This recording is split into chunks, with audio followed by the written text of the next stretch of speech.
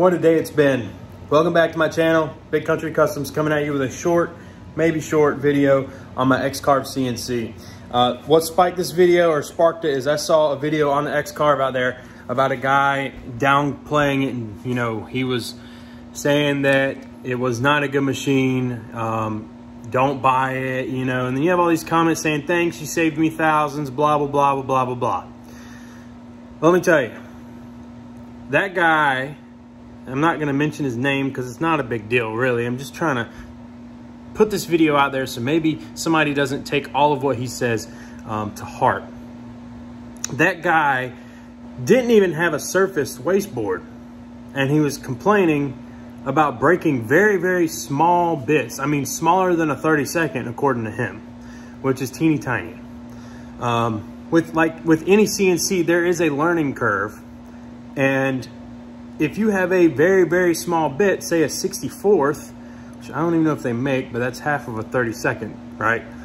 So if that is indeed what he is using, and he doesn't even have a surfaced wasteboard, and he's cutting on a slope, he might have a flat board, but the board's sloped up just a tad, and then all of a sudden, he's cutting a thick, he's taking more out than he started where he where he probed. And yeah, that's that's going to break a bit, buddy. So, I mean, I really just wanted to come on here and say that I've had my X-Carve for a year now, and it has been fantastic. It's not the fastest in the world, no, but it is only a $2,000 machine. And on top of that, people say, it takes forever to assemble, so many parts. Okay, you're paying $2,000 for a pretty big work surface. I mean, it's a very big work surface, 1000 by 1000. And I mean, also, here's the thing too. People don't want to put stuff together, but when you put something together, you know how to maintain it and fix it when it breaks because you put it together. So that did take a while for me. It took me 11 hours straight. I did it straight, 6 p.m. to 5 a.m no stops, and I have very good results with my X-Carve. Uh, this is actually screwed down because it was cupped up, but I mean, it's for a flag union. The stars and the Shelby lettering take 20 minutes. Okay, that's not bad at all. If I just did 50 stars, 25 minutes. And that's not me touching the speed at all on easel, like at all.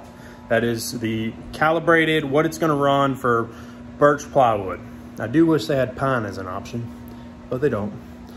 But the snake itself, I actually carve out with a 30 degree, 30 degree bit.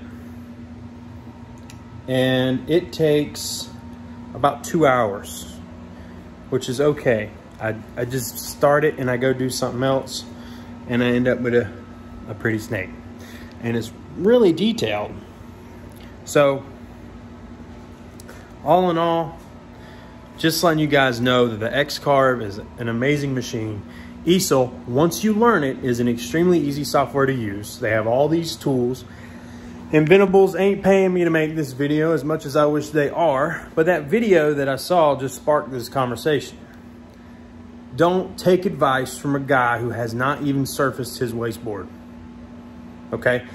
If you're going to get an X-Carve, or if you have one, you go to the Facebook group about the X-Carve. And the X-Carve has a ginormous Facebook group about with all the people that own an X-Carve and use an X-Carve on a daily basis. So, in the event that you're having problems, you, like, you can ask the questions, okay?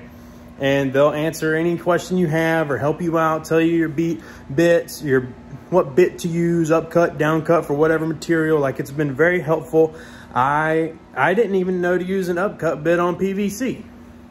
But I guarantee you, if that guy had put a down cut bit on some PVC and complained about the X-Carve being bad, a lot of people are gonna like believe him and take his advice and word not to get an X-Carve. But the X-Carve, so it's, it's very well made. I have the bundle coming, so if you're watching this video and you want to see the bundle installed, and calibrated on my machine, the upgrade bundle, the new one they just released.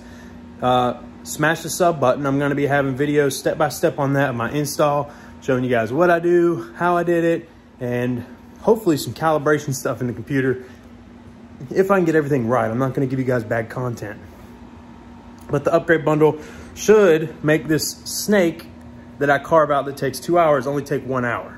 And that's a lot of material usage. That snake is probably six inches tall. So it's a lot of material to remove. Um, that's that basically wraps it up for me with X-Carve. I carve my juice grooves on my my uh, my my cutting boards and all that with it. I've cut out all kinds of cool little projects and it, it's never failed me ever.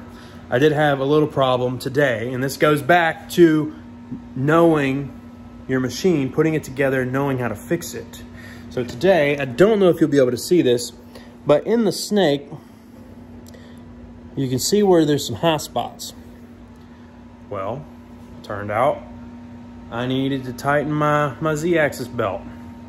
I tightened it, and now on this one, no high spots. So I don't even know if that got in frame, but whatever. Don't take advice from somebody that doesn't know how to use something. That's all this video is about. I appreciate you watching this channel. Smash the like button if you agree. If you have an X-Carve that puts in some work and puts in some work for, for your business.